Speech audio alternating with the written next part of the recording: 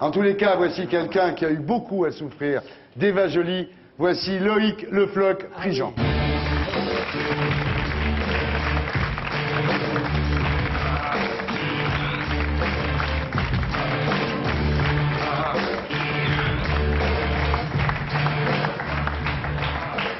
Bonsoir. Bonsoir. Ça va? Oui, oui. Mieux. Mieux. Alors Loïc Le Floc Prigent, vous avez déclaré euh, Eva Jolie m'a volé ma vie. Absolument. Je pense que je pense que ça l'a volé également euh, la vie de Jean-Maxime Lévesque, dont on a parlé tout à l'heure. Dès le départ, pour Jean-Maxime Lévesque, elle aurait dû euh, se partir, puisqu'elle connaissait Jean-Maxime Lévesque dans une autre vie. Ouais. Hein, c'est la règle. Ouais. Et, et je pense que euh, le livre de- de- que- dont vous avez parlé montre bien que euh, elle ne respecte pas les règles. Et, et que lorsque on est dans le droit, il faut respecter les règles. Alors, elle- ne respecte pas les règles avec le secret de l'instruction, c'est-à-dire qu'elle parle aux journalistes. Ça, on le sait, hein, maintenant, c'est marqué dans le livre. Non, c'est pas Et marqué ça- dans le livre, c'est si, on dit, Non, on non, dit non. elle a des relations particulières avec Non. certains journalistes, dont Hervé Gattegno. Je le sais, puisque quand j'étais en, quand j'ai été en Là, vous prison, avez fait une c'est lecture grâce. tout à fait personnelle du Mais pas du tout, mais pas du tout, pas du tout. Mais tout le monde le sait, tout le monde le sait. Alors, donc, elle a fait que elle a- le secret de l'instruction n'existe plus. Or, le secret de l'instruction est dans la loi, est puni euh, par la loi. Hein, si jamais on viole le secret de donc, euh, vous dites, Donc- elle, donc vous dites, elle parle aux journalistes. Est-ce que vous avez été témoin, par exemple, de chantage de la part d'Eva Jolie? Absolument, oui. Par en, exemple, en ce qui me concerne, bah, écoutez, euh, voilà, vous pouvez sortir si jamais vous dites que PAS, c'était un compte en banque, c'est pas quoi. Hmm. Sinon, je ne sais rien, je connais pas ce compte en banque, il n'y a aucune raison. je Réellement, vous a. Absolument. Vous nous jurez ça. Ah, je le jure, oui. Un juge vous a demandé donc. oui, euh, oui, oui, elle. Enfin, il y a eu d'autres chantages euh, par ailleurs. Enfin, c'est un, chantage que- qui m'a été fait. chantage. Est-ce qu'elle vous a demandé des faux témoignages? Non, elle, euh, elle demande, euh, pas à moi, parce que moi je parlais pas beaucoup, mais... Pas du tout, je veux dire oui. Certains pendant quatre mois, pas du tout. Mais si vous voulez, euh, son problème était d'avoir l'aveu. Mmh. Et, euh, et pour avoir l'aveu, eh bien, euh, tout était bon. Me, Ouais. me- me mettre en, en- me mettre en prison, me mettre en prison. on Six mois de prison, six ans de contrôle judiciaire, Loïc Le Floc Prigent. Oui, c'est ça. Et puis c'est pas fini. J'en ai encore pour euh, un certain nombre d'années, à mon avis, euh, comme ça. Vous êtes dans les mains, entre les mains d'autres juges en ce moment. Ce n'est pas le problème. Le problème, c'est que j'ai comme dossier principal le dossier de quelqu'un qui n'a pas fait son travail, c'est-à-dire qui n'a pas fait une instruction à charge et à décharge, qui a fait une instruction à charge. C'est-à-dire, on n'a jamais regardé la décharge. C'est-à-dire que quand je disais, voilà, euh, vous pouvez regarder ça ou ça, rien, rien, mais rien. Rien. Non, non, vous, vous oubliez, vous oubliez. Non, moi, je suis en train de vous poser une question qui est précise, qui est celle-là. Alors, vous n'allez pas m'embêter avec vos, euh, avec vos histoires. On a le sentiment en vous écoutant que, que- que vous êtes un parfait innocent. J'espère bien, j'espère bien que vous le Voilà. croyez, monsieur Aron, depuis le temps, depuis huit ans, Depuis qu'on essaie de démontrer que j'ai de l'argent, maintenant vous êtes sûr que j'en ai pas. Hein. Donc, euh, et que j'en ai fait gagner à la France, tout le monde le sait maintenant. C'est-à-dire que je suis le seul président à avoir fait gagner autant d'argent à la France. C'est-à-dire en faisant payer la moitié de votre maison de campagne par elle, Non, le divorce tout, de pas votre du tout, femme. mais pas du tout. Vous, avez fait gagner de vous n'avez, à- vous n'avez absolument aucune preuve de ça. Aucune preuve de ça dans le dossier. Et vous, et vous- effectivement, vous l'inscrivez dans comme une vérité. c'est dans le dossier d'accusation. c'est dans le dossier de l'instruction, mais ce dossier d'instruction est biaisé par le fait qu'on n'a pas interrogé le principal individu qui a, euh, qui a fait cette opération, que c'est pas moi, et, et que l'individu a Attendez, été interrogé Mathieu-. Mathieu Aron, répondez Donc il faut faire attention.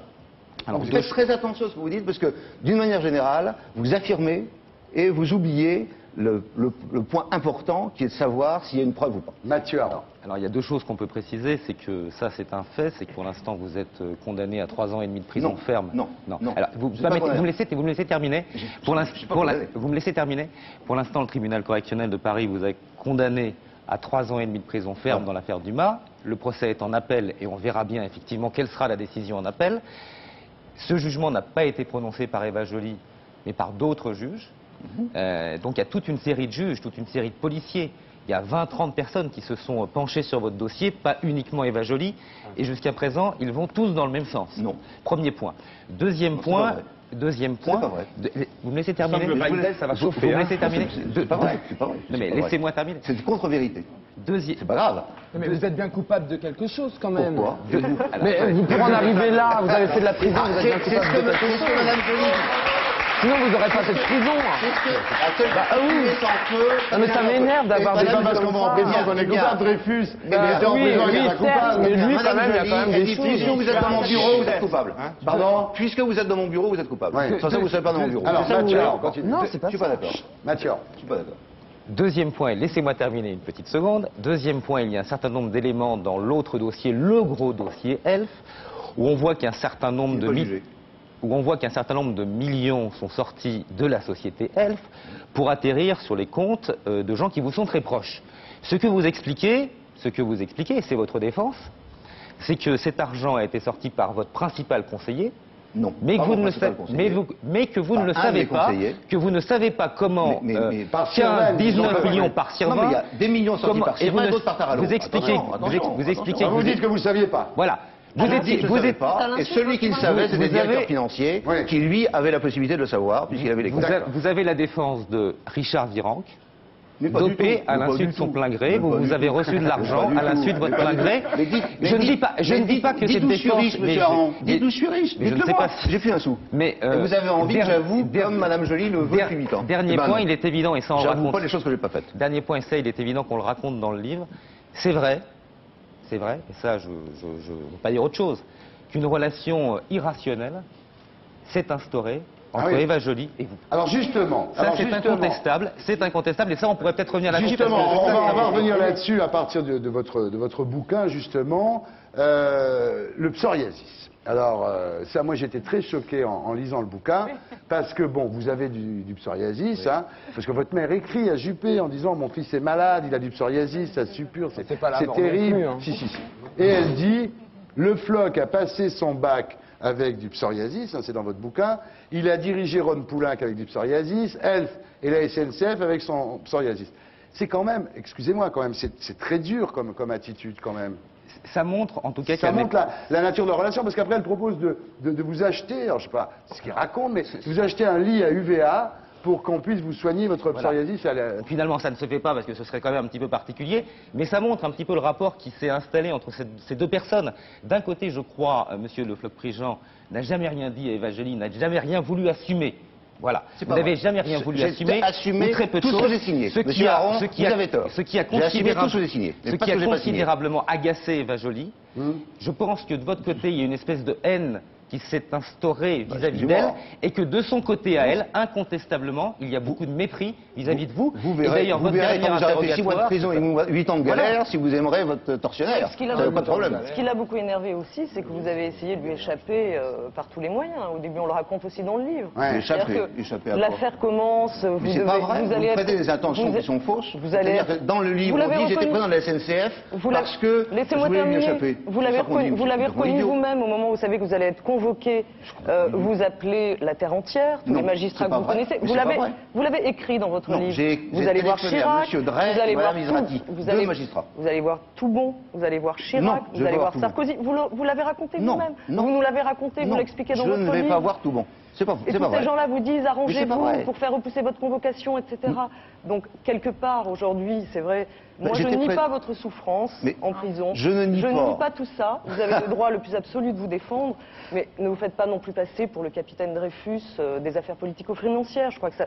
Stevie a eu une réaction assez saine, me semble-t-il. Merci, madame. Le madame nouvel homme au secours de Stevie. Bien. En tous les cas, on va pas refaire le procès ici.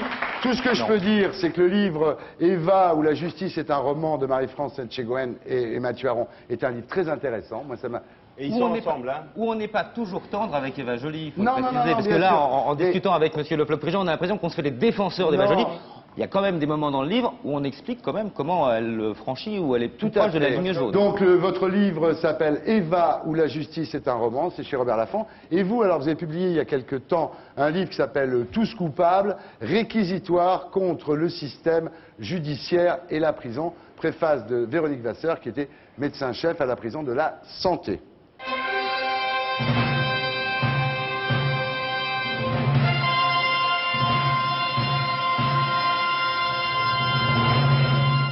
Alors dans ce livre, Loïc Le Floch-Prigent, bah, vous racontez un petit peu tout ce dont vous avez été victime, vous et, et d'autres, comme on a dit, VIP, euh, VIP. Pas seulement des VIP. Oui, oui, mais enfin bon, vous, vous- vous racontez euh, votre expérience, et c'est vrai, quand on lit ça, euh, Kafka à côté, c'est c'est Disney. Hein. Ma position, la position de ce livre, c'est de dire quelqu'un qui rentre en prison, il en sort. Ouais. Alors il en sort comment? Est-ce qu'il en sort meilleur ou pire? Ouais. Et nous, ce que nous avons vécu, c'est l'école de la délinquance, c'est-à-dire qu'effectivement, on en sort pire que quand on est rentré. Vous n'êtes pas à quoi sorti- ça sert Attendez, vous êtes À pas quoi ça peut-être sert en rentrant, vous aussi Quoi Vous êtes brisé, vous êtes cassé par cette Ah, expérience. J'en viens, êtes- c'est-à-dire que je, je suis, je suis misanthrope, je réagis, Ah ouais. je réagis à ce que, à ce que les gens disent en face de moi euh, de façon brutale parce que j'en ai marre. Ouais. Et, et je suis, j'ai changé, c'est clair, Ouais, c'est clair que j'ai changé. Ces six mois de prison, on vous brise à vie. C'est pour ça que je dis qu'on a volé ma vie. On- effectivement, c'est ça qui se passe. La, so- la prison a été faite à un moment pour retirer les gens de la société qui étaient Ouais. dangereux. Mm. Ça, on comprend. Mm. On dit, voilà, vous êtes dangereux, vous avez violé, ça suffit, on va bon. Alors, si jamais on a cette, notion de dangerosité, on, on dit bien, il va falloir que euh, on fasse quelque chose pour qu'il soit moins dangereux à la sortie, au bout de 5 ans, au bout de 10 ans, au bout de 15 ans. Bon. Mais quand on n'est pas dangereux, à quoi ça sert de faire de la préventive? Aujourd'hui, il y a 2000 personnes en préventive qui vont avoir un non-lieu. Ouais. 2000 sur 55 000. À quoi ça sert? Voilà, c'est ce que vous racontez dans ce bouquin. Et, donc vous avez fondé un comité dit comité Mialet, du, du du nom de nom quelqu'un qui s'est suicidé en, en, prison, pour ces raisons. On va terminer là-dessus. Vous parlez dans, dans- dans votre bouquin au sujet de euh, le floc prigent de contre-offensive larmoyante. Enfin, en tous les cas, c'est les termes d'Eva- Joly. Vous pensez qu'il s'en sort bien, là, le floc prigent? Ben, Tout, tout ce que dit Monsieur Le Floch-Prigent est juste. Euh, il y a eu une action assez importante du groupe Mialet euh, depuis euh, 3-4 ans. Hum il y a un résultat. Il y a un résultat, c'est que euh, il n'y a plus personne au quartier VIP de la santé. hum. Il n'y a quasiment plus une seule personnalité en prison. Et qu'en revanche, les prisons n'ont jamais été aussi pleines. Hum. Donc, euh, bah, votre défense euh, et ce que vous dites est intéressant et juste, mais pour l'instant, ça a beaucoup servi aux VIP, aux gens qui étaient dans les affaires politico-financières. J'ai pas le sentiment, même si ce que vous dites est juste, que c'est beaucoup servi aux non, autres non, prisonniers. Toujours Voilà. les carrés Bon. VIP, c'est toujours super difficile à rentrer. Voilà. hein. C'est tout.